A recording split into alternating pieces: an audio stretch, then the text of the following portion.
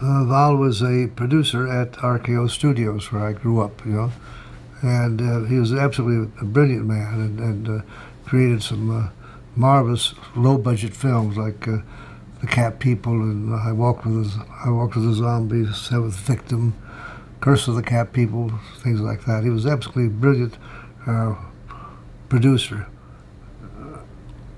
I don't think there's a single I don't think of a single picture he made which he didn't do the final draft of the script, but he would never take credit for it. He didn't want to take credit away from the from the actual writer.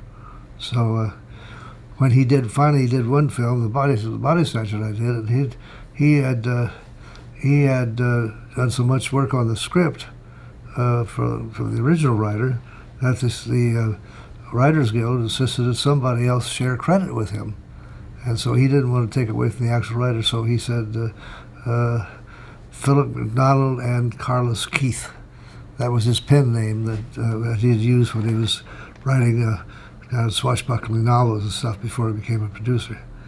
He was a brilliant man, Lewton was absolutely brilliant, and gave me my start as a director, and, and, uh, and uh, just absolutely brilliant producer and brilliant man.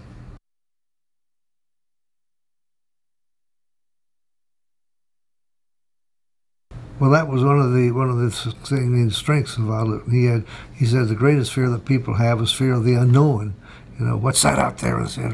What's that sound back there? This kind of thing. So he always played on that, and uh, that's that's uh, a big tribute to him that uh, something like the Cat People could work as as well as it did, and he didn't really see anything. Marvelous. He had a great understanding of shadows of black and white, and and uh, and how effective the, the photography could be in certain instances and all. He's, he's, a, he's a brilliant producer.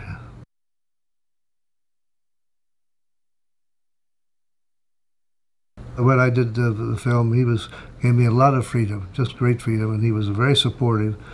Uh, he would uh, he would uh, see the rushes at noon with the front office, and uh, they might say this, that, or other to him to tell me. He would come down and uh, and tell me whatever criticism he might have had, comment, and then he'd pat me on the back and say, "Now go make your picture." In other words, don't pay any attention to what they said.